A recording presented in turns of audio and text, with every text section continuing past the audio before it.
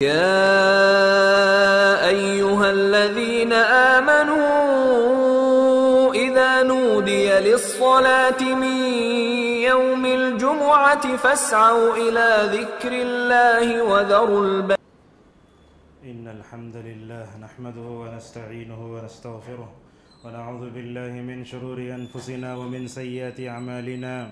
من يهده الله فلا مضل له ومن يضلله فلا هادي له. وأشهد أن لا إله إلا الله وحده لا شريك له وأشهد أن محمدا عبده ورسوله أما بعد فإن خير الحديث كتاب الله وخير الهدي هدي محمد صلى الله عليه وسلم وشر الأمور محدثاتها وكل محدثة بدعة وكل بدعة ضلالة وكل ضلالة في النار.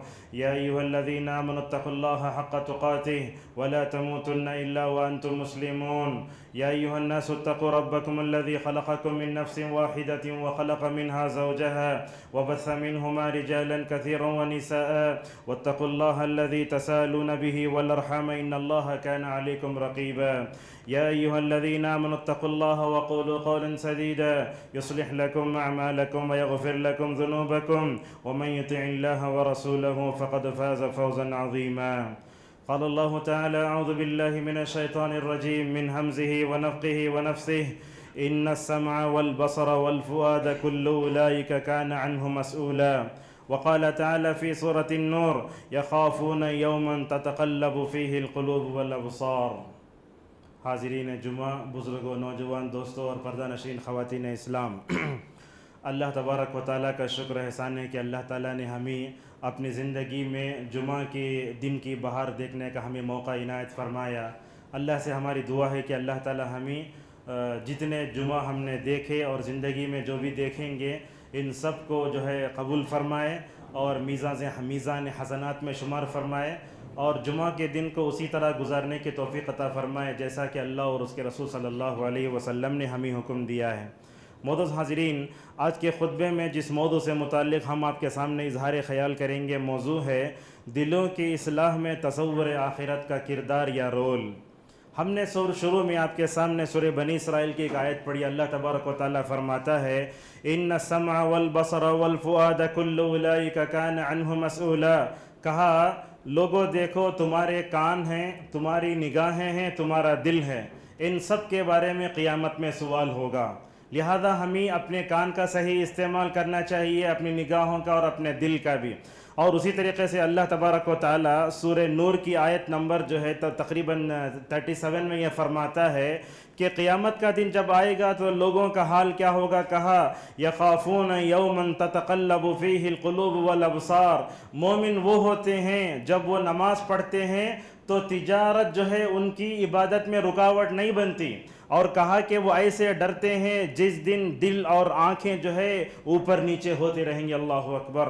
اللہ تبارک و تعالیٰ نے کہا کہ دل بھی نگاہیں بھی اوپر نیچے ہو جائیں گی۔ جیسا کہ آپ جانتے ہیں، چند دنوں پہلے حیدرآباد کا جو سیلاب آیا تھا، اس نے تو ہماری دنیا کو بدل کے رکھ دیا، ہمارے دلوں کو بدل کے رکھ دیا۔ ذرا تصور کرو، وہ آخرت جہاں ہر ایک آدمی جو ہے اپنے اپنے حساب سے جو ہے پسینے میں ڈوبا ہوا ہوگا اور اس دن اگر کوئی بچے گا تو وہ لوگ ہیں جنہوں نے اپنی توحید کی حفاظت کی ہو۔ مدس حاضرین، عربی زبان میں دل کو قلب کہتے ہیں۔ کیوں؟ اس لیے کہ قلب کا مطلب کیا ہوتا ہے؟ بدلتے رہنا۔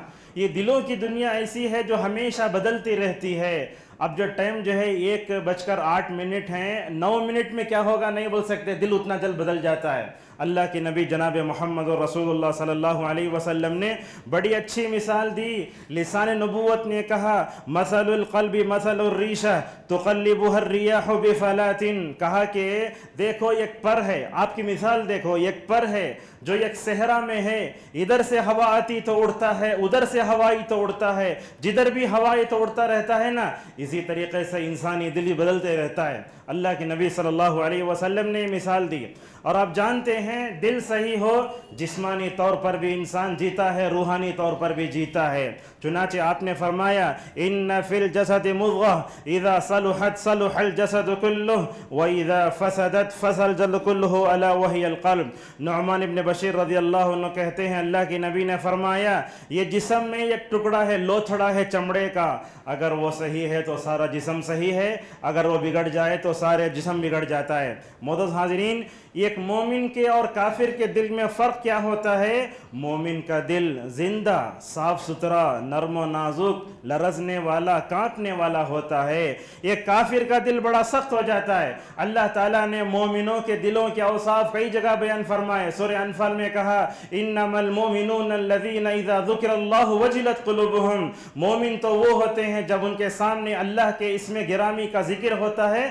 دل کانپ اٹھتے ہیں۔ مدد حاضرین، مومن کے دل میں غلط قسم کی محبت کبھی جمع نہیں ہوتی۔ یہ جملہ دیکھیے، مومن کے دل میں کبھی غلط قسم کی محبت جمع نہیں ہوتی۔ مومن کے دل میں کس کی محبت ہوتی ہے؟ سب سے پہلے اس کے دل میں اپنے رب کی محبت ہوتی ہے۔ اور کس کی محبت ہوتی ہے؟ رسول اکرم صلی اللہ علیہ وسلم کی محبت ہوتی ہے۔ اور اس کے دل میں دنیا کے بجائے آخرت کی محبت ہوتی ہے۔ آپ یاد رکھیے، اگر ہم نے اپنے دلوں میں دنیا کی محبت کو جگہ دی نا، ہمارا دل سخت ہوگا۔ ہمارے اوپر کوئی نصیحت کام نہیں کرے گی۔ اگر ہم نے اپنے دلوں میں آخرت کو یاد رکھا، زندہ رکھا، آخرت کو ہمیشہ یاد کرتے رہے، انشاءاللہ ہمارا اور آپ کا دل نرم رہے گا۔ مدوز حاضرین، آپ پوچھیں گے آج دنیا امت مسلمہ پر ایسے ٹوٹ پڑ رہے جیسے کوئی بھوکا دسترخان پہ ٹوٹ پڑتا ہے۔ آپ صلی اللہ علیہ وسلم نے صوبان رضی اللہ عنہ کی حدیث میں وہ بتایا، صحابہ نے پوچھا، یا رسول اللہ ہمارے اوپر دستر ہمارے اوپر کیوں لوگ ٹوٹ پڑیں گے؟ تو آپ صلی اللہ علیہ وسلم نے فرمایا، تمہارے دلوں میں دنیا کی محبت بیٹھے گی۔ اللہ اکبر، آج سے چودہ سو سال پہلے اللہ کی نبی نے جو بیان کیا، وہ ہم دیکھ رہے ہیں نا، تمہارے دلوں میں دنیا کی محبت آئے گی اور موت سے کراہت کرنے لگو گے تم۔ اور حقیقت یہی بھی ہے، ہمارا دل جنازے کو دیکھ کر گھبراتا ہے۔ کبھی ہم کسی مسجد میں جاتے ہیں، وہاں جنازہ رکھا ہوا ہے، کمزور قسم کے لوگ مسجد چھوڑ کے نوزب اللہ دوسری مسجد کو چلے جاتے ہیں۔ ہمارا حال ایسے بھی ہوتا ہے۔ دیکھیے، اللہ کے نبی نے فرمایا، تمہارے اوپر لوگ ٹوٹ پڑیں گے. کیوں؟ اس لیے کہ تمہارے دلوں میں مکمل طور پر کس کی محبت ہوگی؟ دنیا کی محبت ہوگی۔ اور یاد رکھیے، ہر نبی نے اپنی قوم کو جہاں توحید کی دعوت دی نا وہیں، مکمل طور پر انہوں نے اپنی قوم کو آخرت سے بھی ڈرایا۔ چنا چوریا سورہ انکبوت پڑھی، اللہ تعالیٰ حضرت شعیب کا تذکرہ کرتے ہوئے فرماتا ہے ورج اليوم الاخر. اے میری قوم، اللہ تعالیٰ سے ملاقات کی امید رکھو۔ اور آپ جانتے ہیں، اللہ کے نبی پر مکی زمانے میں تقریباً اسی صورتیں اتریں مندری دور میں تقریباً پچیس سے زائد صورتیں اتری۔ اللہ تعالیٰ نے مکی دور کی اسی زیادہ صورتوں میں جا بجا اللہ کے نبی صلی اللہ علیہ وسلم کو آخرت پر ایمان کا سبق پڑھایا۔ اور وہ سورہ فاتحہ جس کو ہم دن میں کم از کم سترہ مرتبہ فرض نمازوں میں پڑھتے ہیں، اللہ کے سامنے کھڑے ہو کر مالکی یوم الدین کہہ کر فکر آخرت کو اپنے دل میں تازہ کرتے ہیں۔ اللہ اکبر، کتنی بڑی بات ہے۔ یوم مالک یوم الدین کہہ کر کہتے ہیں رب، تو جزا کے دن کا مالک ہے۔ میرے دل میں آخرت کی محبت کو ڈال دے تو۔ موضوع حاضرین، یاد رکھیے، ہم آپ سے یہ نہیں کہنا چاہتے کہ آپ دنیا چھوڑی، ہمیشہ آخرت کے ہو جائیے۔ نہیں بلکہ اسلام تو دین دنیا کا متوازن بیلس والا جو تصور دیتا ہے، وہ تصور آپ اپنے ذہن میں رکھیے۔ یہی تو حضرت سلمان رضی اللہ عنہ نے ابو الدردہ کو سکھایا تھا۔ جب ابو الدردہ اپنے بیوی بچوں کو چھوڑ کر کے لمبے روزے رکھتے، نماز پڑھتے، بیوی کا حق ادا نہیں کرتے، تو سلمان نے کیا کہا ابو الدردہ سے؟ اے ابو الدردہ دیکھو، میں نے جناب محمد رسول اللہ صلی اللہ علیہ وسلم سے سنا ہے، تمہاری آنکھوں کا تمہارے اوپر حق ہے، تمہارے جسم کا تمہارے اوپر پر حق ہے، لہذا کیا معلوم ہوا؟ ہر ایک کو اس کو حق دینا چاہیے۔ جب سلمان نے یہ قصہ ابو الدردہ رضی اللہ عنہ کا جناب محمد صلی اللہ علیہ وسلم کے دربار میں سنا، تو آپ نے کہا، صدق سلمان سلمان نے صحیح بتایا۔ تو معلوم یہ ہوا کہ دنیا کو جہاں رکھنا، وہیں رکھیے۔ آخرت کو جہاں رکھنا، وہیں رکھیے۔ اگر ہم اس بیلس میں جو ہے تصور اگر ہم اس بیلس کو تصور جو ہے مکمل طور پر بیلس نہیں کر سکتے، یہیں سے مکمل طور پر ہمارے لیے پریشانیاں شروع ہو جاتی ہیں۔ مدد حاضرین، آپ پوچھیں گے، آج کی مادہ پرستانہ دنیا میں میں اور آپ اپنے دل میں آخرت کے تصور کو بٹھانا چاہتے ہیں تو کیا مشکل ہے؟ نہیں، کوئی مشکل نہیں، بلکہ بہت آسان ہے۔ ہم آپ کو ایسے ایسے نسخے بتائیں گے، آپ الٹے پلتے چٹتے بیٹھتے، اٹھتے، بیٹھتے ہمیشہ آخرت کو یاد کر سکتے ہیں۔ ذرا اس دعا کو پڑھیے۔ جو بندہ مومن اپنی جو اپنے مومن جو ہے اپنی ہونٹوں پر لاتا ہے، کہتا ہے، اللہم بسمک اموت واحیا رات میں سونے جا رہے آخرت کو یاد کر رہے ہیں۔ اور یہ روایت بھی ہے، حضرت برائی ابن عازب رضی اللہ عنہ کہتے ہیں، اللہ کے نبی یہ دعا پڑھتے تھے بسم کا ربی وضعت جنبی وبی کا ارفعہ، فإن امسکت نفسی فرحمها وإن ارسلتها فحفظ تحکما تحفظ به عبادك الصالحین۔ بندہ کہتا ہے، اے اللہ، میں تیرا نام لے کر میں اپنا جو ہے سر تکیے پر رکھ رہا ہوں۔ اگر میری زندگی میں خیر ہے تو تو میرے روح کو واپس لوٹا۔ دیکھیے، اگر جو ہے اس میں خیر نہیں تو روک لے تو تو آپ جو سوتے وقت کہتے ہیں، میں مر رہا ہوں۔ اور جب صبح اٹھتے تو کیا پڑھتے ہیں؟ اب جب سوتے ہوئے یہ دعا بھی پڑھتے ہیں، اللہم قنی عذابک یوم تبعث عبادک۔ اے اللہ، تو مجھے اس دن کے عذاب سے بچا لے، جس دن تو اپنے جو ہے بندوں کو اٹھا کر کھڑا کرے گا۔ اور یہ بھی دیکھیے، سورہ ملک کی تلاوت اللہ کے نبی سونے سے پہلے کرتے تھے نا؟ اس کی حکمت بھی آپ جان لیجیے، اللہ نے اس صورت میں کہا الذي خلق الموت والحیات لیبلوکم ایکم احسن عملا۔ لوگو، یہ دنیا کی زندگی، دھوکے کی زندگی ہے۔ اللہ نے تم کو پیدا کیا ہے تاکہ تم کو آزمائے۔ دیکھیے، یہ بندہ یہ بھی مکمل طور پر جو ہے جان کر سو رہا ہے۔ معزز حاضرین، اسی طریقے سے دیکھیے، اللہ کے رسول صلی اللہ علیہ وسلم رات میں کھڑے ہوتے تہجد میں، رات کی تاریکی میں آخرت کو یاد کرتے ہیں۔ وہ ہمارے وہ نبی جن کو آخرت میں بہت زیادہ اعزازات سے نوازا جائے گا۔ اس نبی کی حالت دیکھو آپ، جب یہ نبی کھڑے ہوتے تو اللہ سے کیا کہتے ہیں؟ رات کی تاریکی میں بھی اللہ کی نبی آخرت کو بھولتے نہ تھے، کہتے تھے، اللہم انت الحق ووعدک حق ولقاؤک حق وقولک حق والجنت حق والنار حق والساعت حق کہتے ہیں، اے اللہ تو سچا ہے، تیرا وعدہ سچا ہے، تیرے سے ملاقات تیرے سے ملاقات برحق ہے اور جنت بھی برحق ہے، آخرت بھی برحق ہے اور قیامت کا آنا بھی مکمل طور پر برحق ہے. یہ تو کیا ہوا؟ آدمی سو رہا ہے، رات کی کیفیت ہے، رات کی اندھیرے میں بھی ایک بندے مومن آخرت کو فراموش نہیں کرتا۔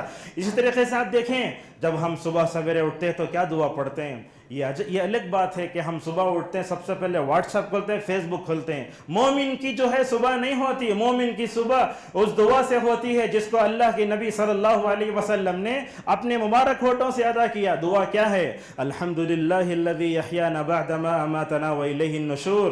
گویا اللہ سے کہنا چاہتے ہیں، اے اللہ میں رات میں گویا مر گیا تھا، تو نے مجھے نئی زندگی، تیرا شکر ادا کرتا ہوں میں۔ میں کسی بھی مرحلے میں جو ہے، تیرے سے غافل نہیں ہو سکتا۔ بندہ ہمیشہ آخرت کی تیاری میں رکھتا ہے۔ علماء کہتے ہیں، کیا نقطے کی بات؟ الحمدللہ الذی احیانا۔ صبح اٹھتے ہی سب سے پہلے آپ کی زبان سے یہ الفاظ نکلے نا، تو کہتے ہیں، علماء سب سے پہلے فرشتے مومن کی زبان سے نکلنے والے ان دعا یا جملوں کو لکھتے ہیں۔ اللہ اکبر۔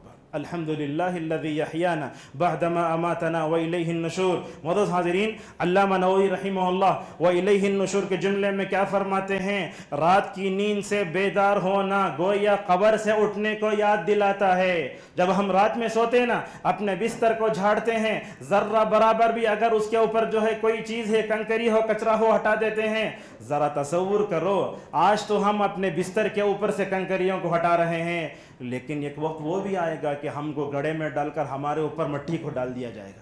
یہ بھی مکمل طور پر ہمیں سوچ کر سونا چاہیے۔ معزز حاضرین، اللہ کے رسول صلی اللہ علیہ وسلم جا بجا صحابہ کو آخرت کی یاد دلاتے۔ چنانچہ دیکھیے روایت کیا ہے۔ قام رسول اللہ صلی اللہ علیہ وسلم خطیبا۔ اللہ کے نبی کے دن ایسے خطبہ دے رہے ہیں۔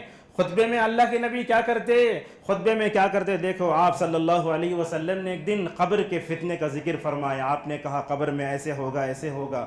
صحابہ کا ایمان بھی کیسے تھا؟ اللہ کے نبی صلی اللہ علیہ وسلم جب بھی نصیحت کرتے ہیں تو حال کیا ہوتا؟ صحابہ کہتے ہیں، آپ صلی اللہ علیہ وسلم جب بھی نصیحت کرتے دل کہاں پٹتے تھے۔ اور حضرات صحابہ اکرام بھی کیسے تھے کہا، جیسے ہی اللہ کے نبی صلی اللہ علیہ وسلم تقریر کرتے، صحابہ کی آنکھوں سے بے اختیار آنسوں بہ جاتے۔ یہی ہمیں مطلوب ہے۔ اگر دیکھیے، یہ آنکھوں، آنکھ سے نکلنے والے آنسو اگر جو ہے اس میں قہت آ جائے نا، سمجھ جاؤ ہمارا دل سخت ہے۔ اللہ کے نبی صحابہ کے سامنے کھڑے ہو کر جب تقریر کرتے، ایک مرتبہ آپ نے قبر کا ذکر کیا تو الفاظ آئے رج المسلمون رجتن صحابہ نے دھاڑے مار کے رونا شروع کر دیا۔ ایک دن اللہ کے نبی صلی اللہ علیہ وسلم میں خطبے کے دوران۔ اور دیکھیے برا ابن عازب رضی اللہ عنہ کہتے ہیں کننا مع رسول اللہ صلی اللہ علیہ وسلم فی جنازت فجلس على شفیر القبر فبکا حتی بل السرا ثم قال، یا اخوانی، لمثل هذا فعدو ابن ماجہ کی روایت ہے برا ابن عازب رضی اللہ عنہ کہتے ہیں، اللہ کے نبی صلی اللہ علیہ وسلم ایک جنازے میں تھے، آپ جو ہے قبر کے کنارے بیٹھے ہوئے یہ اس شخصیت کا حال ہے جس کے اگلے پچھلے سارے گناہ معاف ہیں۔ اور آپ کو معلوم ہے، انبیاء کو قبر کی مٹی نہیں کھاتی۔ یہ شخصیت کا حال کیا دیکھیے۔ اللہ کے نبی قبر کے کنارے بیٹھے، اتنا رو رہے ہیں، اتنا رو رہے ہیں کہ پورے زمین کا حصہ سامنے کا بھگ جا رہا ہے۔ اور جب تدفین ہو گئی تو آپ صلی اللہ علیہ وسلم نے صحابہ سے کیا فرمایا؟ کہا، یا اخوانی، لمثل هذا فعدوا لوگو، اس مرحلے کے بلی کبھی تیار ہو جاؤ۔ اور اب دیکھیے، اللہ کے نبی صلی اللہ علیہ وسلم اپنی مبارک مجلس میں۔ جنت و جہنم کا تذکرہ ایسے کرتے گویا صحابہ اپنے آنکھوں سے جنت کی نعمتوں کو دیکھ رہے ہیں۔ کبھی آپ جو ہے ایسا تذکرہ کرتے جہنم کا کہ صحابہ کرام تھرہ اٹھتے تھے۔ لہذا ایک مرتبہ کا واقعہ ہے حنزلہ جانتے ہیں؟ ان کو نہلانے کے لیے آسمان سے فرشتے اترے تھے۔ اس کو غسیل الملائکہ کہا جاتا ہے۔ ایک مرتبہ وہ اللہ کے نبی کے مبارک دربار سے یہ کہتے ہوئے باہر آ رہے ہیں۔ حنزلہ منافق ہو گیا حنزلہ منافق ہو گیا۔ معلوم ہے مشہور روایت ہے۔ ابو بکر نے پکڑا، کہا حنزلہ یہ کیا کہتے ہو تم؟ تو کہا ہاں ابو بکر پکڑ کر لے گئے۔ کن کو؟ حنزلہ رضی اللہ عنہ کو رسول اللہ صلی اللہ علیہ وسلم کے دربار میں کیا کہتے ہیں؟ دیکھو، یہ دلوں کی بدلتی کیفیت کو کیسے محسوس کرتے تھے؟ حضرات صحابہ کرام کہا، یا رسول اللہ جب ہم ہم آپ کی مجلس میں ہوتے ہیں نا، آپ جنت کا تذکرہ بھی کرتے، جہنم کا تذکرہ کرتے، ایسے معلوم ہوتا ہے کہ گویا ہم اپنی آنکھوں سے جہنم کو دیکھ رہے ہیں، جنت کو دیکھ رہے ہیں۔ اور دنیا میں رسول اللہ صلی اللہ علیہ وسلم سے کوئی فصیح اللسان ہو نہیں سکتا تھا۔ حنزلہ کہتے ہیں، یا رسول اللہ، آپ کے پاس ہوتے ہیں تو دلوں کی کیفیت کچھ اور ہوتی ہے۔ جیسے ہی ہم اپنے بیوی میں، بچوں میں سامان کے پاس چلے جائے، ہوتا کیا؟ الفاظ دیکھیے نسینہ کثیرن، آخرت کو بھول جاتے ہیں، دنیا میں مشغول ہو جاتے ہیں۔ یہ بات جو ہے حنزلہ نے رسول اللہ کے سامنے بیان کی تو ابو بکر نے کہا، یا رسول اللہ، میرے دل کی کیفیت بھی کبھی ایسے ہی ہو جاتی۔ اللہ اکبر۔ یہ اس امت میں سب سے افضل ابو بکر کی دل کی کیفیت ہے۔ جب حنزلہ سے سنتے تو کہتے ہیں حنزلہ صحیح کہہ رہے ہیں۔ میرے دل پر بھی کبھی ایسے گزرتا ہے جیسے حنزلہ کے دل پر گزرتا ہے۔ آپ صلی اللہ علیہ وسلم نے فرمایا، صحابہ کرام پریشان ہونے کی ضرورت نہیں۔ آپ نے خوشخبری کیسے دی؟ اگر آج کا کوئی عالم ہوتا تو سامنے والے کو ہو سکتا مایوس کر دیتا۔ آپ صلی اللہ علیہ وسلم نے کہا، دیکھو، دلوں کی بدلتی کیفیت تو تم محسوس کر رہے ہو نا؟ میرے سامنے ہوتے ہو تو الگ ہوتی ہے۔ جب تم اپنے بیوی بچوں میں چل الگ ہو جاتے ہیں تو آپ نے فرمایا، اگر بلوں دلوں کی بدلتی کیفیت اگر ایسے رہی تو کیا ہوگا؟ دیکھو، فرشتے راستوں میں کھڑے ہو کر تمہارے بستروں کے پاس کھڑے ہو کر تم سے ملاقات کریں گے۔ اللہ اکبر۔ اتنی بڑی بات نبی کریم صلی اللہ علیہ وسلم نے بیان فرمائی۔ مدد حاضرین، اس حدیث کو بیان کر کے کہتے ہیں علماء؟ صحابہ کرام نفاق سے بھی ڈرتے تھے، آخرت کی پکڑ سے بھی ڈرتے تھے۔ ذرا اس حدیث کے پس منظر میں ہم بھی اپنے ہاں اپنی زندگیوں کا جائزہ لیں۔ ہوتا یہی ہے، مسجد کے دروازے تک دل کی کیفیت کچھ اور ہوتی ہے۔ مسجد کے دروازے سے نکلنے کے بعد ہم اپنے آپ کو آزاد سمجھتے ہیں۔ لہذا یاد رکھیے، آپ نے یہ تبدیلی سمجھ لی نا کہ دل میں، مسجد میں میرا دل ایک رہتا ہے، باہر ایک رہتا ہے۔ اگر اس تبدیلی کو آپ محسوس کرتے ہیں تو انشاءاللہ اپنے دلوں کو اچھی طریقے سے بدل سکتے ہیں۔ مدد حاضرین، رسول اکرم صلی اللہ علیہ وسلم نے اب جو ہے تصور آخرت کو اپنے دل میں بٹھانے کے لیے کیا کہا؟ اکثر و ذکا حاضم اللذات کہا، لوگو، لذتوں کو توڑنے والی موت کو بھی ذرا یاد کرو۔ کیا ہوتا ہے حقیقت میں؟ انسان کے دل پر، اس کے نفس پر جو ہے خواہشات کا حملہ ہوتا ہے۔ اگر ہم یہ چاہتے ہیں کہ دل پر خواہشات کا حملہ نہ ہو، تو ہمیں لذتوں کو ختم کرنے والی موت سے مکمل طور پر اس کو یاد کرنا چاہیے۔ موت اور قیامت کی ہولنا کی یاد کرنے سے دل سے خواہشات کا خاتمہ ہو جاتا ہے۔ مدد حاضرین خطبے کو آگے بڑھاتے ہوئے ہم آپ سے یہ کہنا چاہتے ہیں، اگر ہم اور آپ اپنے دل میں تصور آخرت کو بٹھانا چاہتے ہیں، جیسے نبی کے دل میں تھا، صحابہ کے دل میں تھا، ہم کو کیا پروگرام کرنا چاہیے؟ وہ باتیں بیان کر کے آگے بڑھتے ہیں۔ دیکھیے میں اور آپ اپنے دل میں تصور آخرت کو پختہ طور بٹھانا چاہتے ہیں۔ سب سے پہلے ہمیں آخرت کا علم حاصل کرنا ہوگا۔ آخرت کیا ہے؟ خبر کیا ہے؟ جنت کیا ہے؟ جہنم کیا ہے؟ یہ جاننا ہوگا۔ واض و نصیحت، دروس وغیرہ میں شریک ہونا ہوگا۔ اور جہاں جہاں اس موضوع پر ورکشاپ چلایا جاتا ہے، کوئی بھی جو ہے ہفتہ واری درس چلاتا ہے، اس میں شریک ہو کر اپنے جو ہے ایمان کو جلا بخشنے ہو۔ دیکھیے حضرت معاذ بن جبل رضی اللہ عنہ لوگوں سے کہتے تھے، اجلس بنا نؤمن ساعتن آؤ ذرا بیٹھو، ذرا جو ہے ہم اپنے ایمان کو تازہ کرتے ہیں۔ کبھی آپ سوچئے، ہم اور آپ اپنے بیوی بچوں کے ساتھ گھر میں کتنے مرتبہ بیٹھتے؟ ہزاروں موضوعات پر گفتگو ہوتی ہے۔ کبھی اس موضوع پر گفتگو نہیں ہوتی کہ آخرت کا منظر کیا ہوگا۔ کہ کیا ہم اپنی بیوی سے پوچھتے ہیں کہ تمہارے میرے درمیان میں ملاقات ہوگی کیا؟ اپنے بچوں سے بولتے کیا انشاءاللہ ہم جنت میں ہماری ملاقات ہوگی؟ اپنے گھروں میں ہونے والی گفتگو کو جو ہے آخرت کی بناؤ۔ اپنے بچوں سے بات کرو تو ان کے اندر آخرت کا تصور پیدا کرو۔ تب کیا ہوگا ہمارے بچے انشاءاللہ جو ہے سوشل میڈیا کے فتنے سے بھی محفوظ ہو جائیں گے۔ مدد حاضرین، حضرات صحابہ کرام، قیامت کو یاد کرنے کے لیے مستقل بیٹھتے تھے۔ جیسا کہ حضیفہ بن اسید رضی اللہ عنہ کہتے ہیں، نبی صلی اللہ علیہ وسلم ایک دن اچانک میرے پاس آئے، آ کر پوچھے حضرات صحابہ کرام سے، کیا کر رہے ہو تم؟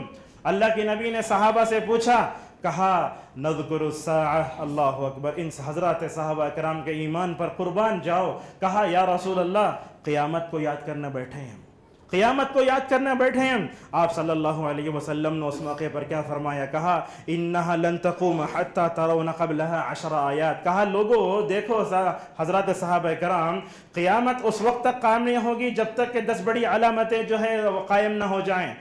اتنے لوگ بیٹھے ہوئے ہیں علماء کو چھوڑ کر، ہم میں سے کون ایسا ہے جو قیامت کی دس بڑی علامتوں کو یاد رکھتا ہو؟ نہیں۔ ہمارے پاس آخرت کا تصور نہیں، وہ قیامت کی علامتیں نہیں، بلکہ کبھی تو سوشل میڈیا میں، ٹی وی میں آنے والی چھوٹی چیزوں کو ہم قیامت کی علامت سمجھ جاتے ہیں۔ ذرا قیامت کی ان دس بڑی علامتوں کو تصور کرو۔ اور اس بارے میں آپ صلی اللہ علیہ وسلم نے کیا فرمایا؟ آپ نے دیکھا ہوگا، عورتیں جو ہار پہنتے اس میں من کے ہوتے نا، اگر وہ تاغا کھل جاتا ہے تو من کے جیسے گرتے ہیں۔ آپ نے فرمایا، مختصر سی مدت میں یہ جو ہے قیامت کی بڑی بڑی علامتیں جلدی جلدی واقع ہو جائیں گی۔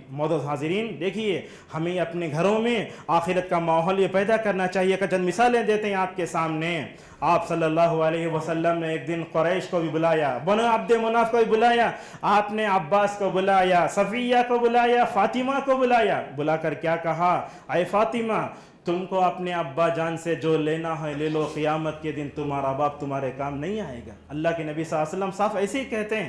اور ایک مرتبہ دیکھو ایک مرتبہ مرض الموت میں بلا کر حضرت فاطمہ کو ایک بات کان میں کہی ہنس پڑی فاطمہ، جانتے ہیں نا؟ اور ایک مرتبہ ایک بات، ایک ایک بات کہی تو رو پڑی۔ بعد میں عائشہ رضی اللہ عنہ نے پوچھا، اے فاطمہ، تمہارے ابا جان نے تمہارے کان میں کیا کہا؟ جس وجہ تم ہنس پڑے تھے، کس بات پر رو پڑی تھی؟ تو فاطمہ رضی اللہ عنہ کہتی ہیں، اللہ کے نبی صلی اللہ علیہ وسلم نے مجھ سے کہا تھا، اے فاطمہ، میرے گھر والوں میں سب سے پہلے تم میرے سے ملاقات کرو گی۔ اللہ کے نبی نے یہ کہا تو مجھے خوشی ہوئی، اللہ اکبر، اتنا بڑا اعزاز، اتنا بڑا اعزاز۔ کبھی آپ نے یہ کہا، تم جنت عورتوں کی سردار رہو گی۔ بائیس سال کی عمر میں ان کا انتقال ہوتا ہے، لیکن جنتی عورتوں کی سردار یہ۔ حضرت عائشہ نے پوچھا، کیوں روئی؟ کہنے لگی، اے ام المومن، اے عائشہ، اصل میں بات کیا ہے؟ اللہ کی نبی نے میرے کان میں کہا کہ تمہارے ابا جان اسی مرض میں دنیا کو الوداع کہنے والے ہیں۔ جب میں نے یہ بات کہی تو مجھے رونا آ گیا۔ دیکھیے اللہ کی نبی اپنے بیوں میں کیسے فکر آخرت کو تازہ کرتے تھے۔ ایک مرتبہ آپ صلی اللہ علیہ وسلم نے کہا تھا، اے ازواج متحرات تمہارا ہاتھ جس کا لمبا جتنا ہے کہ وہ میرے سے سب سے پہلے ملاقات کرے گا۔ تمام ازواج متحرات نے اپنے اپنے ہاتھ ناپنا شروع کر دیے۔ حضرت سودا کا ہاتھ لمبا تھا، وہ سمجھنے لگی کہ رسول سے سب سے پہلے ملنے والی میں ہوں۔ آپ صلی اللہ علیہ وسلم، لمبے ہاتھ کا مطلب مساکین کو دینا، فقراء و مساکین کی جو ہے مدد کرنا، یہ وز زینب رضی اللہ عنہ کے اندر تھا۔ رات بھر مشکیزیں سیتیں، صبح ہونے سے پہلے اس سے حاصل ہونے والی پوری کمائی لوگوں میں تقسیم کر دیا کرتی تھیں۔ مدد حاضرین، اللہ کے نبی صلی اللہ علیہ وسلم ایسے ہی اپنے بیوی بچوں میں مکمل طور پر جو ہے فکر آخرت کو پیدا کرتے تھے۔ اگر آج کا کوئی مرد اپنی بیوی کے سامنے فکر آخرت کے بارے میں بولے یا میں مر جاؤں گا، تم مر جاؤ گے تو آج کی عورتیں کیا بولتی ہیں؟ ایسی باتیں مت کرو، نہیں ہونا چاہیے۔ آدمی ہمیشہ تیار رہے، کس کو کب جانا ہے نہیں معلوم۔ لہذا فکر آخرت کو ہمیشہ تازہ رکھیں۔ موضوع حاضرین، اگر ہم اپنے دلوں میں آخرت کے تصور کو بٹھانا چاہتے ہیں، بیماری اور آزمائش میں مبتلا لوگوں کی عادت کرو۔ کبھی ہسپتالوں کا چکر کاٹو، جو لوگ آئی سی یو میں ہیں، ان کو دیکھو۔ جن کی سکرات کی حالت ہے، ان کو دیکھو، آخرت یاد آئے گی تمہیں۔ اللہ کے نبی صلی اللہ علیہ وسلم کبھی حضرت سعد کی جو ہے عیادت کرتے ہوئے نظر، دعا کرتے ہیں اللہ، سعد کو شفا دے شاعد کو شفا دے۔ ایک مرتبہ آپ صلی اللہ علیہ وسلم جابر کے پاس گئے۔ یہ وہ جابر ہیں، جن کی نو بہنیں تھیں، حضرت جابر کی عیادت کرنے گئے، تو گئے تو دیکھا جابر بے ہوش پڑے ہیں۔ آپ صلی اللہ علیہ وسلم نے وضو فرمایا۔ وضو کر کے جابر کے چہرے پر پانی مارا۔ اللہ کے نبی صلی اللہ علیہ وسلم نے۔ جابر کو جیسے ہی ہوش آیا تو اپنے سامنے رسول اللہ کو پا کر خوش ہو گئے۔ دیکھیے، ایک بھائی دنیا سے جا رہا ہے۔ بہنوں کو وراثت دینے کی فکر ہے۔ کہتے ہیں، یا رسول اللہ میں اپنے بہنوں کو کتنا کتنا حصہ دوں گا؟ آج تو بھائی بہن کا حصہ کھا لیتا ہے نا۔ حضرت صحابہ کرم ویسے نہیں تھے، بلکہ تو وہ دنیا سے جا رہے ہیں۔ لیکن جب بھی ان کو اپنے بہنوں کو جو ہے وراثت دینے کی فکر ہوا کرتی تھی۔ اور اسی طریقے سے آپ صلی اللہ علیہ وسلم نے فرمایا، جب وہ بیمار ہو جائے تو یادت کرو۔ ایک روایت میں کہا، عود المریض مریض کی یادت کرو۔ بیمار کے پاس جاتے نا، ہمارا دل بھی نرم ہو جاتا، اس کو بھی تسلی ہوتی ہے اور آخرت مکمل طور پر یاد ہو جاتی ہے۔ اس اس طریقے سے مدد حاضرین، سکرات کی حالت میں مبتلا لوگوں کو کبھی دیکھو۔ جیسے حضرت زینب رضی اللہ عنہ کے بیٹے کا انتقال ہو رہا ہے۔ حضرت زینب کا کلیجہ منہ کو آ گیا ہے کہ میرا بیٹا دنیا سے جا رہا ہے۔ بار بار نبی کو بلا بھیجتی ہیں، جاؤ نبی کو بلا لاؤ۔ اللہ کے نبی کیا بولتے؟ آتا ہوں، صبر کرو صبر کرو۔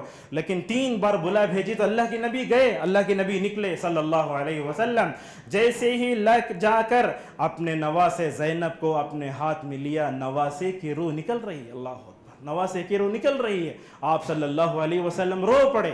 رو پڑے تو سعد نے کہا، کیوں روتے ہو؟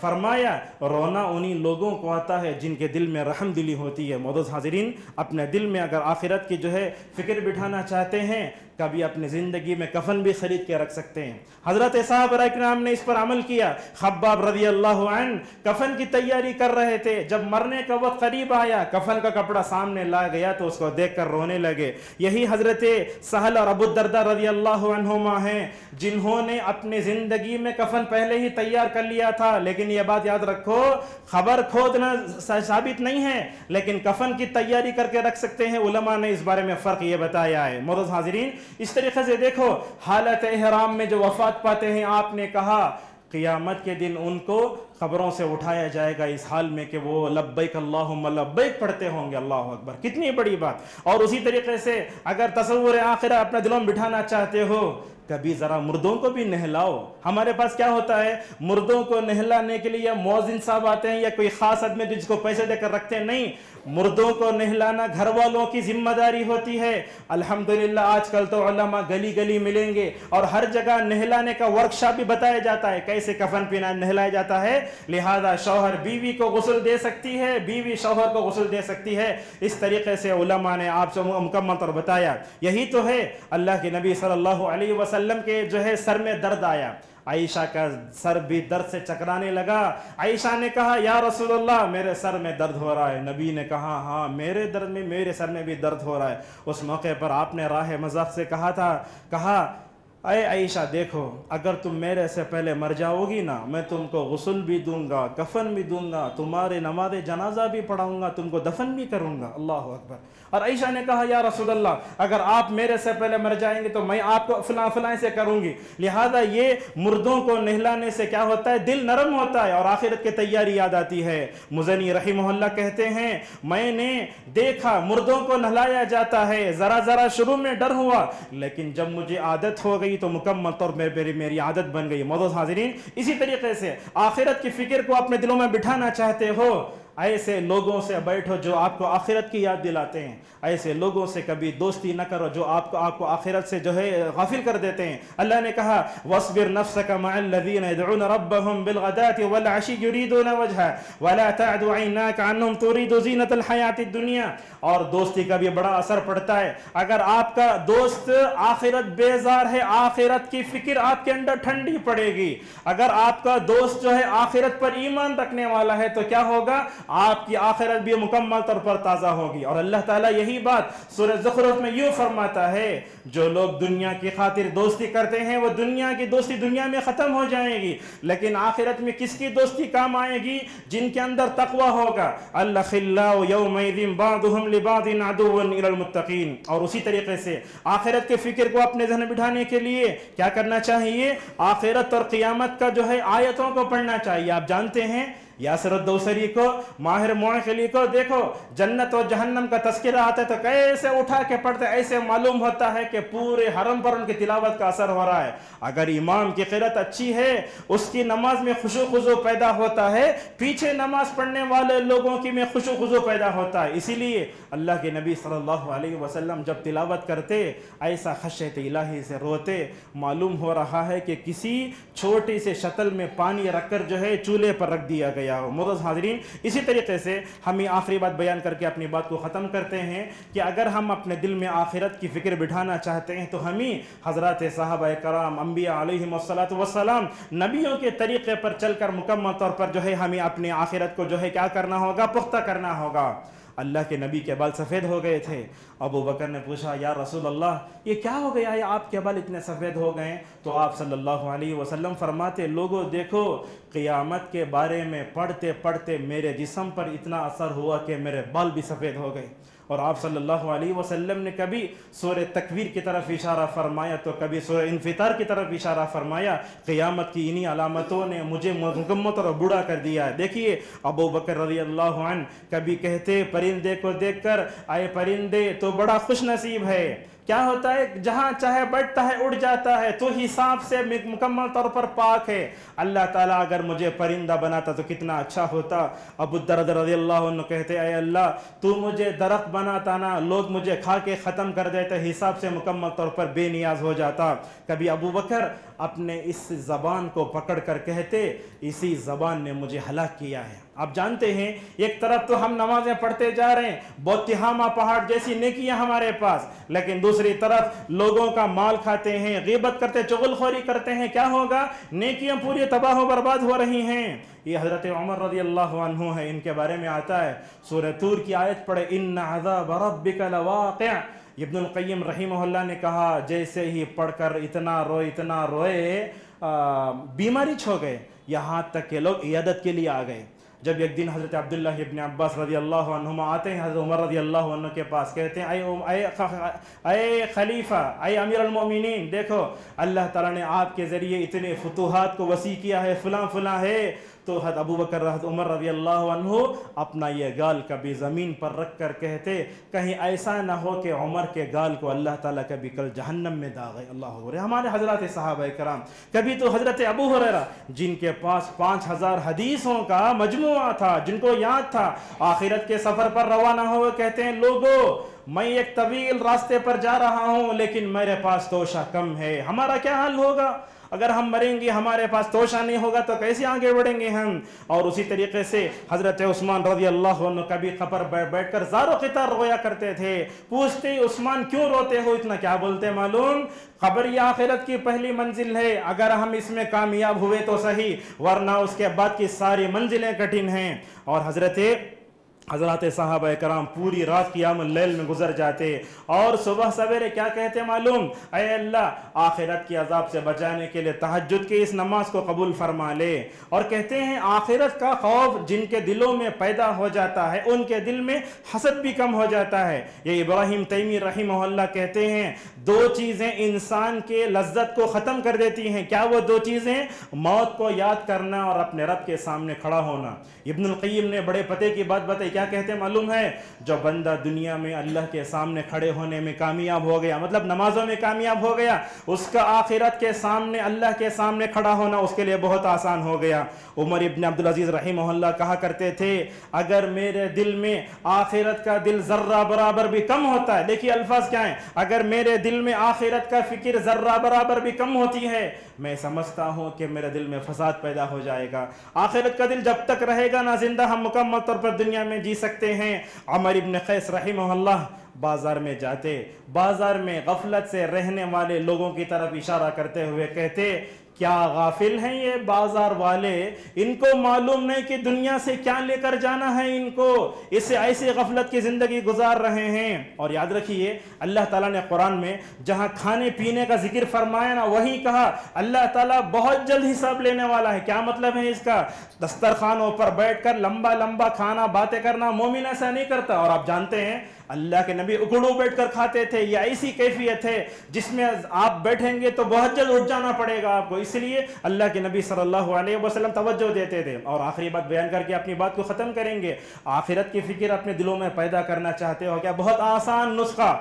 ہفتے میں ایک مرتبہ جمعہ کا جو دن آتا ہے نا، وہ ہم ہمارے اندر آخرت کی فکر پیدا کرتا ہے۔ آپ پوچھیں گے، جمعہ کا دن کیسے فکر پیدا کرتا آخرت کی؟ دیکھو، اللہ کے نبی صلی اللہ علیہ وسلم جمعہ کے دن جو ہے پہلی رکعت میں فجر میں سورہ سجدہ پڑھتے تھے، معلوم ہے نا؟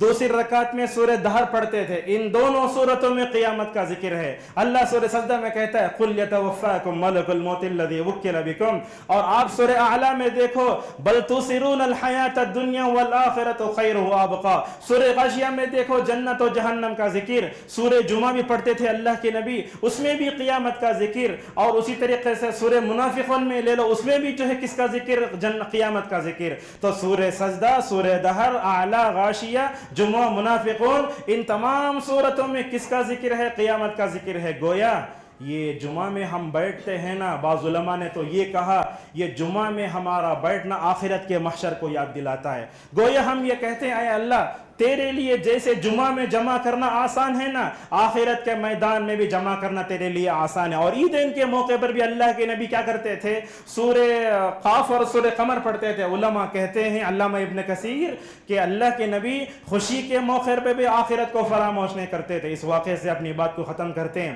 ایک دن اللہ کے نبی صلی اللہ علیہ وسلم آرام کر رہے تھے۔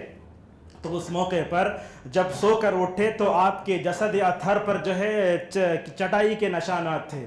حضرت عمر نے دیکھا، کہا، یا رسول اللہ، آپ کا یہ حال قیسر و کترا قیسر و کسرا اتنا لائف انجوائے کر رہے ہیں، آپ کئی کو اتنی معمولی زندگی گزار رہے ہیں؟ آپ صلی اللہ علیہ وسلم نے حضرت عمر کا جواب دیتے ہوئے کیا کہا؟ اے عمر، کیا تم اس بات سے راضی نہیں ہو کہ اللہ تعالیٰ دنیا میں کفار کو دے دے اور ہم کو آخرت میں دے؟ یہ جملہ سننا تھا حضرت عمر رضی اللہ عنہ کی آنکھوں میں آنسو آ گئے۔ لہذا خطبے کو سمیٹتے ہوئے یہی کہنا چاہتے ہیں کہ دلیوں کی دنیا بدلتی رہتی ہے لحظہ بلحظہ لمحہ بلمحہ بدلتی رہتی ہے۔ ہمارے لیے ضرورت ہے کہ ہم اپنے دل میں صحیح محبت رکھیں۔ اللہ کے رسول کے اور آخرت کی۔ جب ہمارے دلوں میں آخرت کی محبت رہے گی نا تو سمجھو ریموٹ کی طرح ہم کو برائیوں سے جو ہے مکمل طور پر ہم دور رکھیں گے۔ اور آج کے زمانے میں تو سوشل میڈیا سے بڑا دشمن ہمارا اور کوئی نہیں ہے۔ یہ چیز آ کر جو ہے دنیا سے، آخرت سے اتنا غافل کر دیا ہم کو۔